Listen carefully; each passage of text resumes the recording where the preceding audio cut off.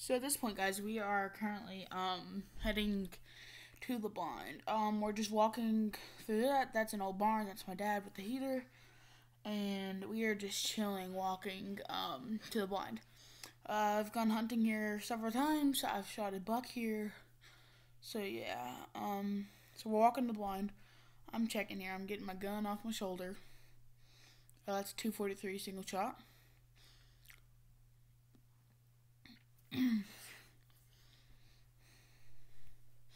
so I pull out the gun, I put it on my shoulder. I'm walking slowly just to see if there's anything. Um, we see nothing at first.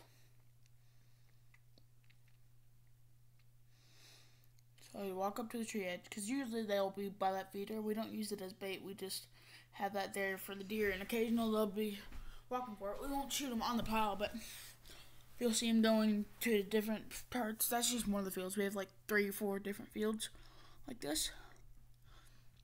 Um, this is the first one you come to. That's next to the pond. So yeah, the it was like seven o'clock, six o'clock at the time.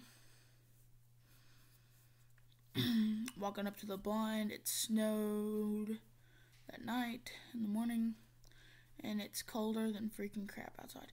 Now, right there, where I'm looking at, there were four deer that went. I was trying to get my camera going, but I couldn't. So he's looking. Um, we never see deer over there usually, but four actually does did come out, and I had a doe tag at the time, so I couldn't get her. Um, then because they weren't there yet, so can't shoot a buck. I'd have to shoot a doe. So we put the heater down there. Um, you're gonna figure out something soon. But yeah, I throw the gun up there. Start to clear off some ice. Got the boots, the overalls on, and everything. Coats, jackets. It's freaking cold outside. a couple snow sickles or icicles. Yeah. so then uh, I pointed down at my hands. Oof. Okay, that was a weird transition. So um, I'm now here. This is a bit later. This is after the fact that I shot, I believe.